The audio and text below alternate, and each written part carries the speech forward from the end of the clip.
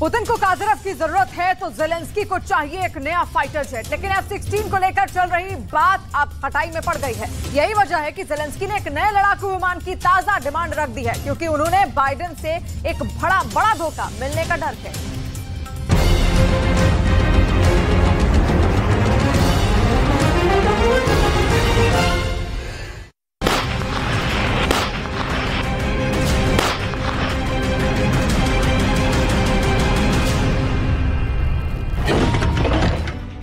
Ukraine में धमाकों के बीच, Ukraine में जब एक के बाद एक शहरों को पुतिन की फौज रौनते हुए आगे बढ़ रही है, तब जेलेंस्की को एक बहुत बड़ा शॉक लगा है। इसे आप 440 वोल्ट का झटका कह सकते हैं। जेलेंस्की को एहसास हो गया है कि उनको अमेरिका से बहुत बड़ा धोखा मिलने वाला है। जेलेंस्की बार बार ये तस्वीर देख रहे हैं और फिर बाइडन से अपनी तीन मुलाकातों को बार बार याद कर रहे हैं। जेलेंस्की को बताया गया है कि इस तस्वीर में अमेरिका और यूक्रेन का संबंध डिकोड कर दिया गया है, जिसमें एक व्यक्ति दूसरे के कंधे पर बंदूक रखकर फायर कर रहा है। यानी यूक्रेन, अमेरिका और रूस के युद्ध में कठपुतली बन गया है। उसका इस्तेमाल किया जा रहा है। अब सवाल है कि ऐसा क्या हुआ है कि जेलेंस्की को धोखा मिलने वाली बात सच होने जा रही है। तो बड़ी खबर एफ़ सिक्सटीन फाइटर जेट को लेकर है। वही एफ़ सिक्सटीन जिसे लेकर जेलेंस्की ने रूस को रोकने के बड़े बड़े ख्वाब देखे हैं। यूक्रेन को एफ़ सिक्सटीन देने पर अभी फाइनल मुहर नहीं लगी है। बाइडन ने सिर्फ़ ट्रेनिंग देने की बात कही है।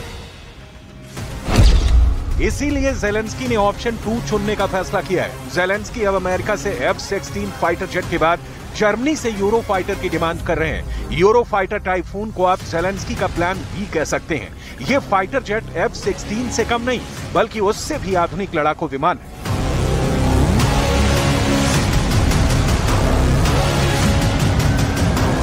जेलेंस्की के नए विकल्प के पीछे दो बड़ी वजह है।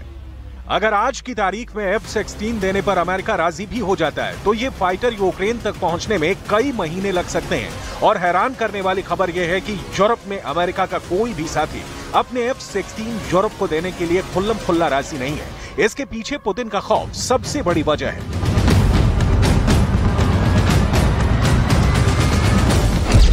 ये बात पता चलने पर जेलेंस्की को बस यही तस्वीर याद आ रही है, क्योंकि इसी में अमेरिका को एफ़ सिक्सटीन वाला ऑफ़र डिकोड किया जा रहा है। युद्ध में यूक्रेन एक मोहरा साबित हुआ है। यही वजह है कि जेलेंस्की की डिमांड अपडेट हो चुकी है। अब यूक्रेन को यूरो फाइटर टाइफून की ज़रूरत है, और ये डिमांड भी एफ़ सिक्सटीन से कम नहीं है।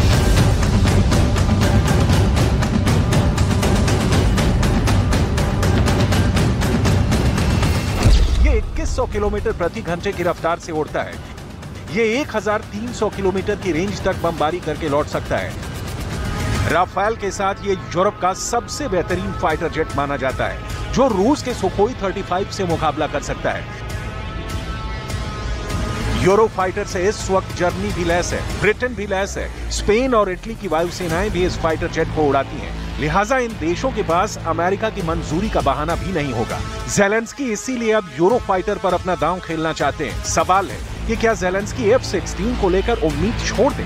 वही फाइटर जिसके लिए जेलेंस्की लंबे वक्त से जद्दोजहद कर रहे हैं। इसके लिए वो यूरोप की हर बड़ी कैपिटल का दौरा कर चुके हैं। अमेरिका के नेताओं से कई मुलाकात कर चुके हैं, लेकिन उनको हासिल क्या हुआ? इसे बहुत गौर से समझिएगा।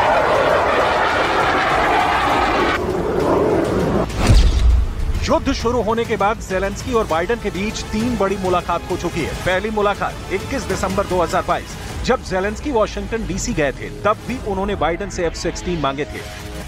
दूसरी मुलाकात 20 फरवरी 2023 जब बाइडेन अचानक कीव के दौरे पर आए, तब भी जेलेंस्की ने एफ़ सिक्सटीन की डिमांड की। और तीसरी मुलाकात 21 मई 2023 जब जापान में हुई जी सेवन की बैठक में जेलेंस्की को बुलाया गया और यहाँ बाइडन ने उनसे एफ़ सिक्सटीन की बहुत मीठी मीठी बात की, लेकिन ये तीनों मुलाकात अब तक धोखा नंबर एक, धोखा नंबर दो और धोखा नंबर तीन साबित हुई है। जेलेंस्की को लगा कि उनकी मेहनत रंग लाई है, क्योंकि जी सेवन में अमेरिका ने कह दिया कि उससे एफ़ सिक्सटीन दिए जाने से कोई ऐतराज नहीं है। लेकिन जब से जेलेंस्की ने मॉस्को को अपने ड्रोन से टारगेट किया है, अमेरिका को एहसास हो गया है कि एफ़ सिक्सटीन का इस्तेमाल भी रूस के खिलाफ होगा। जेलेंस्की बॉर्डर क्रॉस करेंगे और फिर पुतिन का गुस्सा वॉशिंगटन डीसी तक फूटेगा, क्योंकि जेलेंस्की अपना इरादा ज़ाहिर कर चुके हैं। वो क्या फैसला लेंगे? क्या टारगेट चुनेंगे? तीन मई को क्रेमलिन पर ड्रोन अटैक के बाद जेलेंस्की को लेकर अमेरिका का भरोसा काफ़ी कम हुआ है। हालाँकि यूरोप की जिद के बाद बाइडन पिघले ज़रूर हैं। और उन्होंने जी सेवन की बैठक के दौरान जेलेंस्की से कहा कि कसम खाओ, रूस पर अटैक नहीं करोगे। जेलेंस्की इस बात के लिए राज़ी हुए और अब यूक्रेन के लिए एफ़ सिक्सटीन का रास्ता खुल गया। Have a flat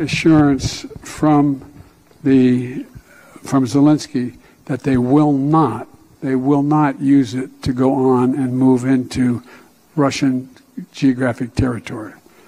But wherever Russian troops are within Ukraine in the area, they would be able to do that.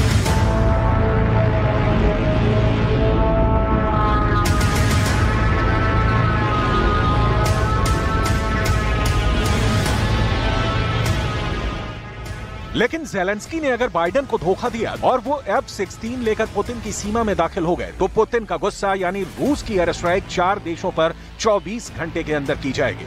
और तब वर्ल्ड वॉर की नौबत आ सकती है, जो बाइडन को बिल्कुल मंजूर नहीं है। और वो पुतिन से डायरेक्ट फाइट नहीं चाहते। बाइडन के डर को बहुत गौर से समझने की ज़रूरत है।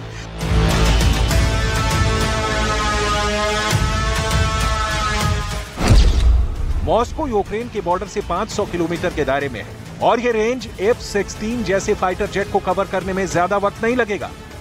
अगर एफ़ सिक्सटीन मॉस्को या फिर रूस के किसी और शहर पर अटैक करता है तो पुतिन का गुस्सा नहीं, बल्कि ज्वालामुखी फटेगा।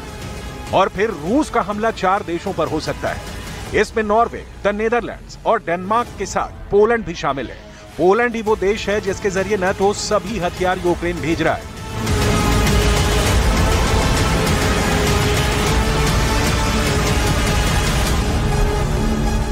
एफ़ सिक्सटीन बहुत ही खास जहाज़ है और ये यूक्रेन के अंदर जहाँ जहाँ रूस का दबदबा है, वहाँ ऑपरेट कर सकता है। रूस की फौज पर भी बम गिरा सकता है और रूस के फाइटर जेट के साथ डॉग फाइट, यानी हवाई मुकाबला भी कर सकता है। बाइडन ने अभी इसी बात की इजाज़त दी है।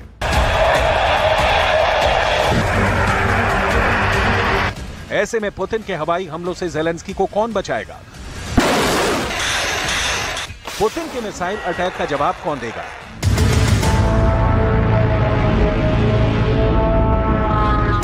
पुतिन की फौज को उनके घर में घुसकर कौन मारेगा?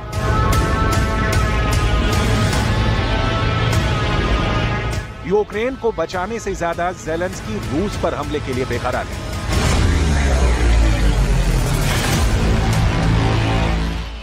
इसीलिए जेलेंस्की को यह भी चाहिए, यानी यूरो फाइटर।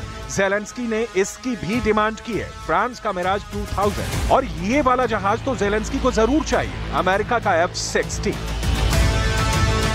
ये फाइटर जेट मिल जाए तो जेलेंस्की डॉनबास में रूस के ठिकानों तक ही नहीं बल्कि मॉस्को में पुतिन के हेडक्वार्टर यानी क्रेमलिन तक हमला करेंगे ये ताकत हासिल करने के लिए इसीलिए जेलेंस्की का मिशन फाइटर जेट शुरू हो गया है जिसे यूरोप और अमेरिका में जेलेंस्की की फाइटर जेट डिप्लोमेसी कहा जा रहा है Дуже сильно допомогло. Ну ми розуміємо, що так затягувати ми не будемо, і тому ми будемо починати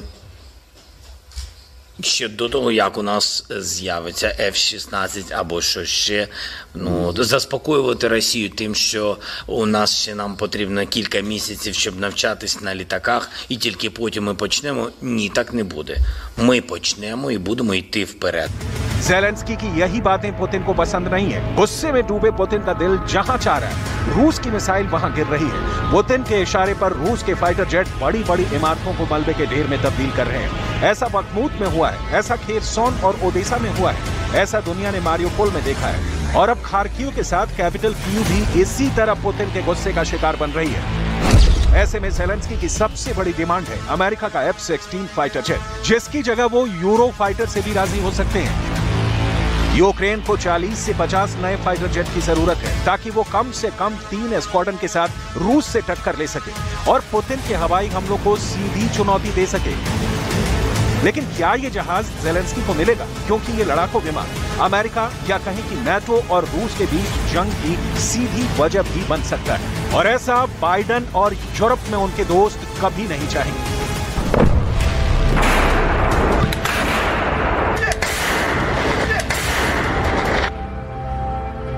फ़िलहाल जेलेंस्की को जो भी मिले, ये बात तय है कि रूस के धमाकों के बीच जेलेंस्की पर नोटों की बारिश हो रही है। जेलेंस्की को लिफ्ट कराने की पूरी तैयारी हो रही है, क्योंकि जेलेंस्की को पुतिन की फौज से लड़ने के लिए नई पावर दी जा रही है। कम से कम उनको ख्वाब तो दिखाए ही जा रहे हैं, लेकिन ये ऐसी फायर पावर है जो पुतिन के युद्ध को जेलेंस्की और नेटो पर बोझ बना सकती है।